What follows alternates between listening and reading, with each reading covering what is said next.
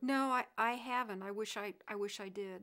Uh, the only thing that I've done since the studies are some uh, pretty substantial psilocybin trips, psilocybin mushrooms, and while they've been enlightening, they were all very very difficult on on different levels, and I kind of do it in a very ritualistic setting.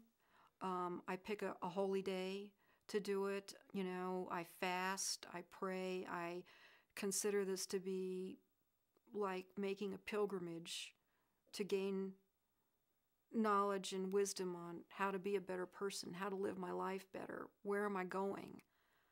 I don't, with psilocybin, you, there's no way you go anywhere as far out as you go with the DMT. But the interesting thing is, some of the some of the the things that I've seen have been some of the same things, the same patterns, the same colors as as the DMT.